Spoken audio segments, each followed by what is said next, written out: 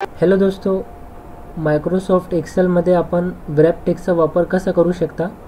त्याची सर्वात easy trick या व्हिडिओमध्ये मी तुम्हाला शिकवणार आहे.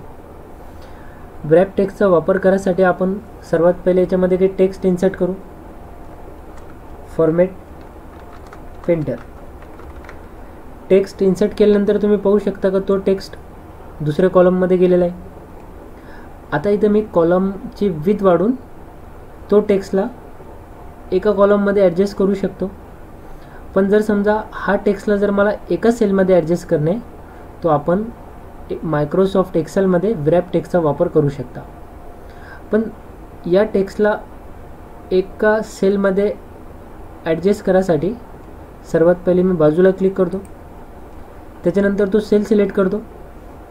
आणि सेल सिलेक्ट केल्यानंतर होम टॅबचे अलाइनमेंट ग्रुपमध्ये मी जेव्हा विरॅप टेक्स्टला क्लिक करणार तो बघा तो टेक्स्ट बरोबर एकाच सेलच्या मध्ये ॲडजस्ट झालेला आहे.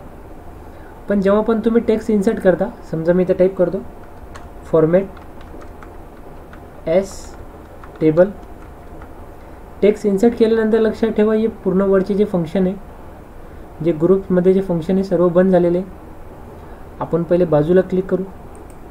त्याच्यानंतर आपण ते सेल सिलेक्ट करू. जे सेलमधला टेक्स्ट आपल्याला ॲडजस्ट करणे आणि अलाइनमेंट ग्रुपमध्ये आपण जेव्हा व्रॅप टेक्स्टला क्लिक करणार तुम्ही पाहू शकता बघा का तो टेक्स्ट बरोबर एका सेलमध्ये ॲडजस्ट झालेला आहे. नंतर आपण कॉलमची रुंदी वाढून पण त्याला काय करू शकता असा ॲडजस्ट करू शकता. तो असा आपण मायक्रोसॉफ्ट एक्सेलमध्ये व्रॅप टेक्स्टचा वापर करू शकता. व्हिडिओ जर तुम्हाला आवडला असेल तो व्हिडिओला लाईक करा शेअर करा.